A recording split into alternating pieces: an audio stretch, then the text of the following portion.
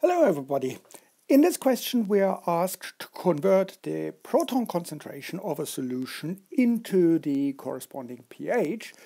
and uh, we can do that with the, the equation pH equals negative log to the base of 10 of the concentration and the important point here is that the concentration is given in mole per liter. Now in our case we have the correct unit so we don't have to do any conversions or anything like that and we just can put the numbers that we have into our calculation, into the equation. So pH equals negative log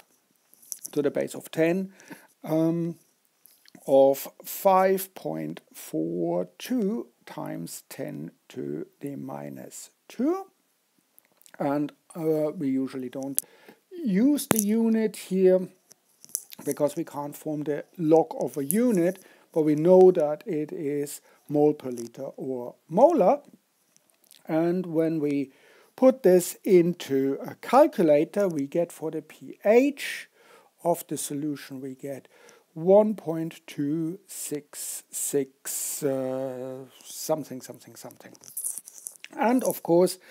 because we've got only two decimal points here we round this to the same number of decimal points so this would be the pH would be 1.27 for this particular solution. I hope this makes sense and thank you very much for watching.